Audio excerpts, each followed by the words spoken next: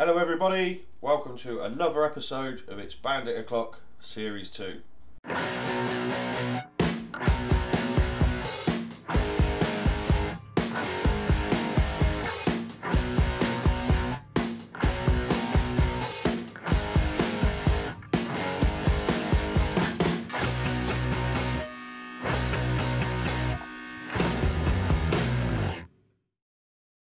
Now this week I am going to start stripping the engine and get to the gearbox. It's whining, it's not great, we need to fix it.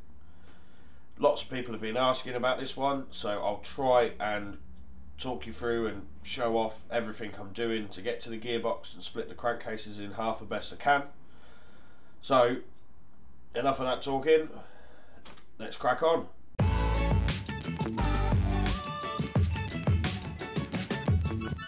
So I'm going to start at the top of the engine even though it's laying over.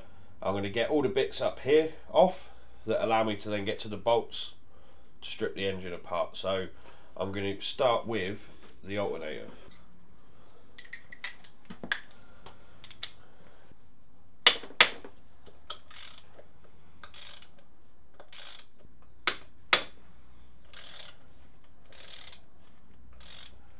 I've got one hiding away just under here.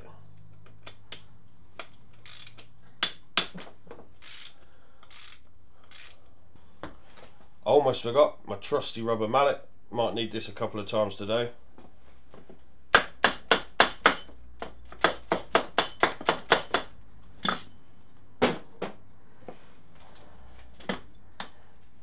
There we go. And the alternator's been removed. Next up is the starter motor. There's two 10 mils that have also got Phillips heads in them. One of them I can get undone with a ratchet, but the other one I might need to use a spanner on.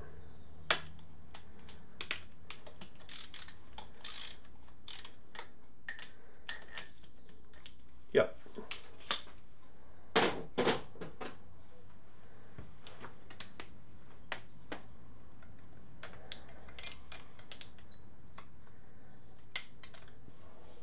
Okay, bolts are out, give it a quick tap, and then a wobble, and the starter motor's been removed.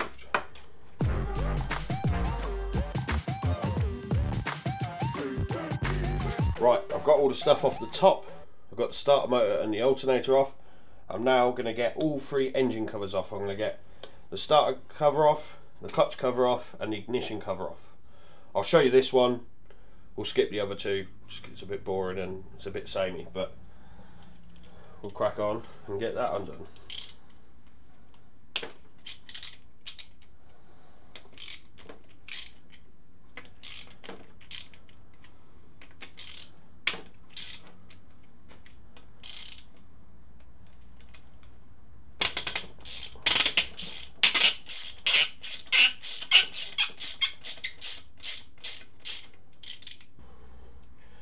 Right, bolts are out, give it a gentle tap.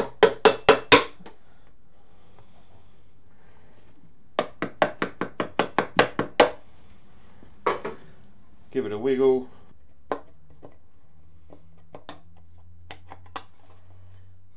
There we go. One star cover off. And what's really cool is the gasket's still intact as well. So, so all the engine covers are off. We're now going to take this like bracing plate off that goes around the output shaft and the uh, push rod for the clutch and we're also going to take the neutral switch off as well. I'll cut in a little shot of these bolts here, they're little 10 mils and I've actually got a little locking tab to stop them coming undone. I'm going to blame the new cameraman um, but we didn't record knocking those back. But you just have to get a screwdriver in flat-headed screwdriver and knock them back so the head of the bolt's free so you can undo them but I'm going to start taking it off now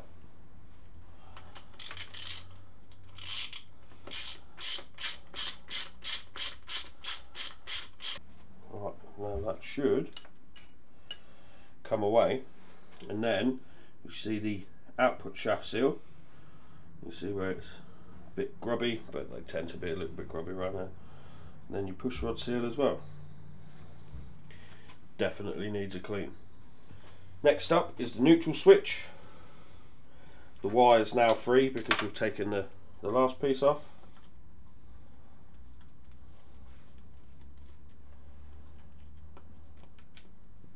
This bit here makes your neutral light work when you are in neutral.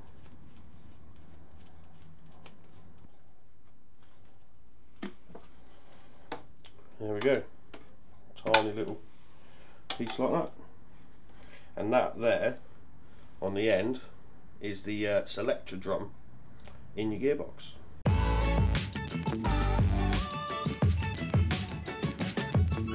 So we've moved the engine around. Now we need to work on this side a little bit. We've got the clutch we need to remove. We've got the uh, ignition pickup and all of that's got to come off as well because it sits right in the centre of the crank. So that's got to come off to take the bottom half of the crankcase off. So we'll start with the clutch. First up is the circlip. I hate undoing circlips.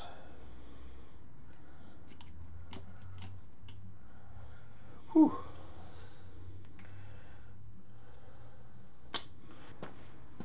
Next we'll take the pressure plate out. Comes undone, we'll take that out. Now, because I don't have the locking tool for the clutch, to get the big nut out so we can just take the clutch out, I'm going to get my impact wrench to uh, buzz that off. I've searched absolutely everywhere to find my 30mm impact socket, but I can't find it anywhere, so uh, I'm having to use a normal one. Wouldn't recommend it, but I just want to get this off real quick with my buzz gun. With my buzz gun.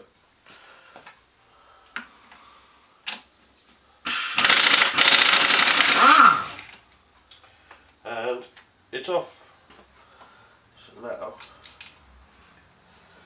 the clutch can come out. Oh.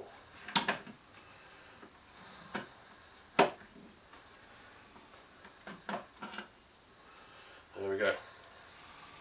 With the clutch removed, the engine is getting much, much lighter now. So that's done. We're going to move on to the ignition pickups. We'll be using 19mm spanner to hold the crank and then 6mm Allen key to undo it. But the engine's starting to rock around. So, because we're not allowed brolly dollies anymore, I'm going to uh, get my glamorous assistant to come and hold the engine for me while I try and get this done done. So, we now have a Bill. Thanks Bill.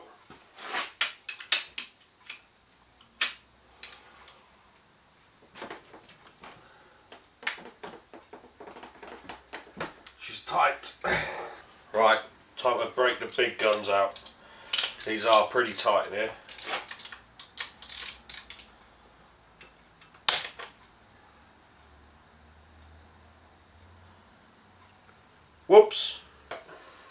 Plan C, half inch with a much shorter flat bit.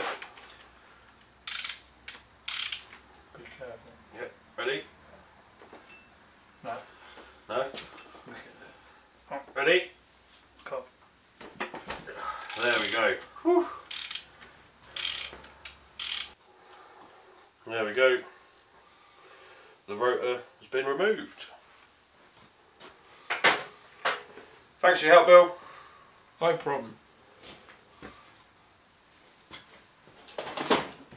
Sorry about that audio loss. The batteries run out on the microphone. So now the rotor's off, it's time to remove the pickup plate. We need to undo the little bolt there on the oil pressure switch.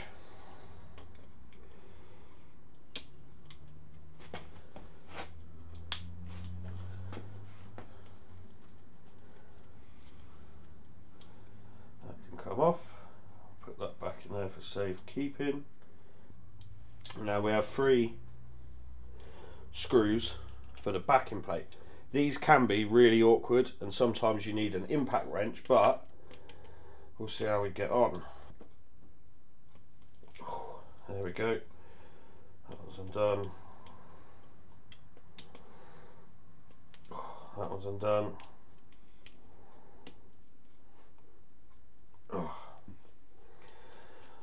And that one's undone. So now, this plate comes off just like that. We've got some wiring up here. That come out fast. Now, we've got to try and feed this through. And the awkward bit is the plug at the other end. And then it's out. So, one more bit done, we're getting closer to taking the gearbox out.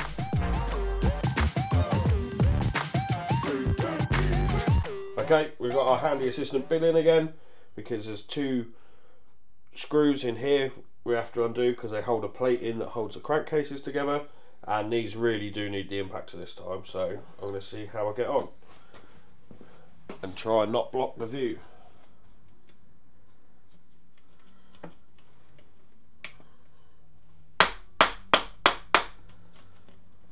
Beautiful. That's one I'm done. Loosened itself off as well. Excellent. Next job is the sump. We're going to take that off and then it'll almost be time to start undoing the bolts that hold the crankcases together. So, time to crack on.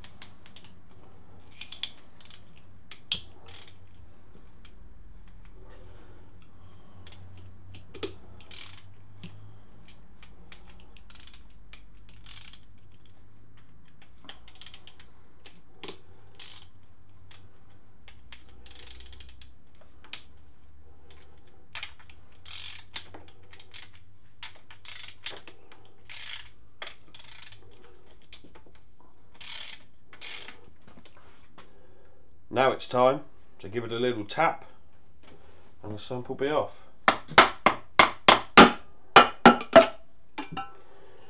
There we go. Even though we drain the oil, there's still some in there. So it's always good to have a cloth down.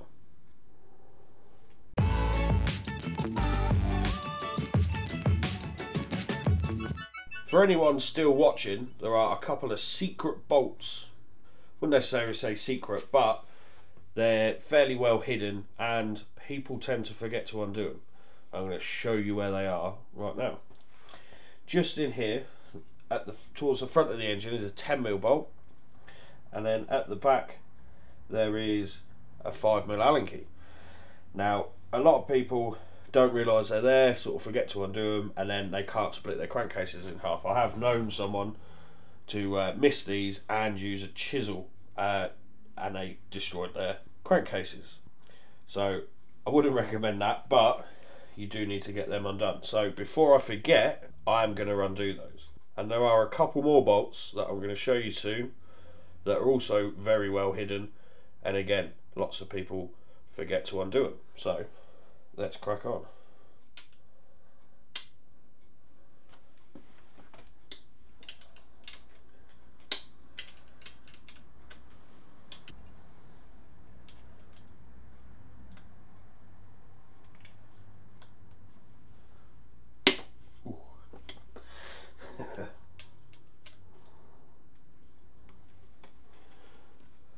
with a bolt like that you're definitely not going to split your crankcases in half with that holding them together. So I'm now going to move round to the handful of bolts that are at the top of the crankcases. I've got two 5mm Allen keys just here, you'll be able to see on the other camera angle, and then there's a little 10mm just hiding behind the oil drain pipe. So I'm going to get those out now.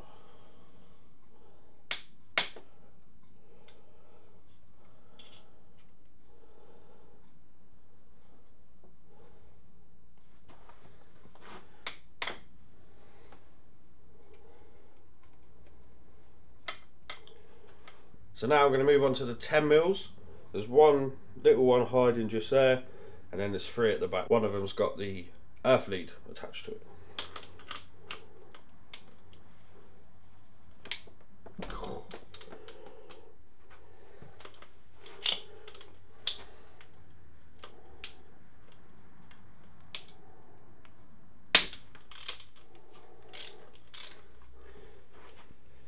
Now these bolts are rather tight.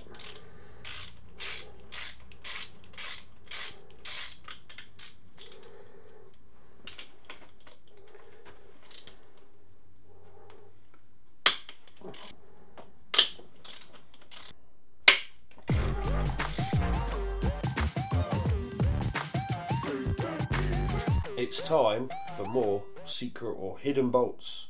So the first one I'm going to show you is just there between where the push rod output shaft is. Okay, little 10 mil just there. Just about get a ring spanner on, and there we go. Again, it's one of the ones people don't undo and then wonder why the crankcases won't come apart. The next hidden ones are actually above the oil filter, so I need to take the oil filter off.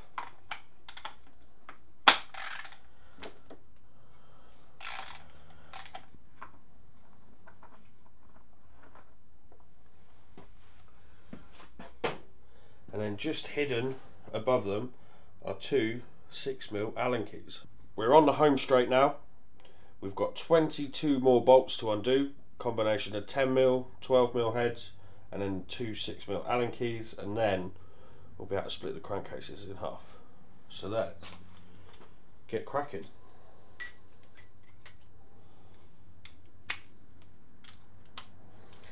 I might need my glamorous assistant for this to help me hold the engine because these are done up rather tight.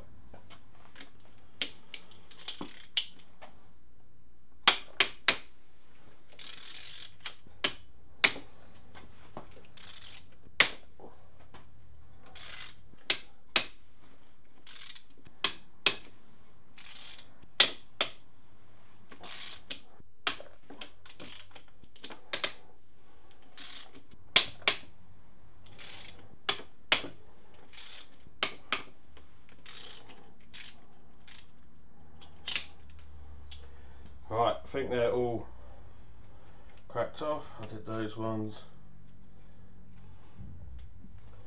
That one down there. Right, time to swap out to the 10 mil.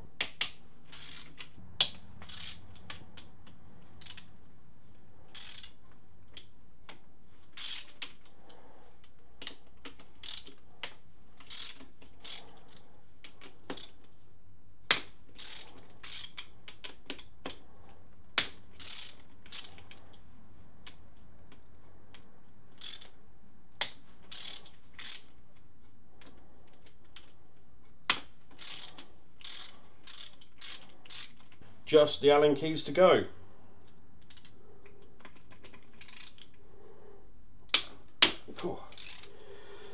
Last two to come undone are always the tightest.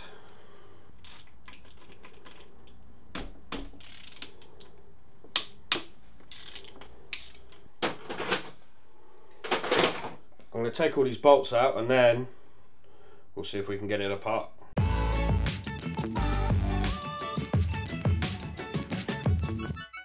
Now is the moment of truth. Have I undone all the bolts? We're about to find out, so I'm going to uh, probably go silent for a minute because I'll be concentrating, but I'm going to try and pop the crankcases in half. There's a couple of bits I can lever on, like the selector there, and inside the clutch. Now, I am going to use a rubber mallet, but I'm going to be gentle with it, and it is just a rubber mallet if you ever do anything like this, don't use a hammer or anything because you'll ruin it. So I'm going to give it a bit of a tap around the edge and see what happens.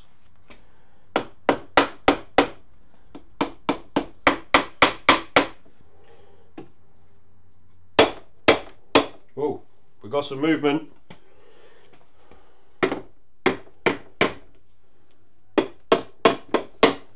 Right, bit of wiggling and I think we might have it off. One thing I do need to be careful of is the shells for the crank don't fall out the crankcase.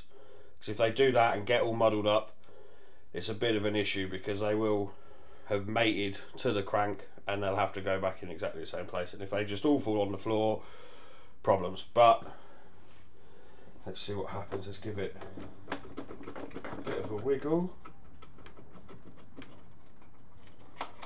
Whoa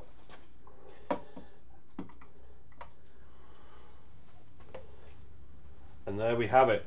Two halves of the crankcase.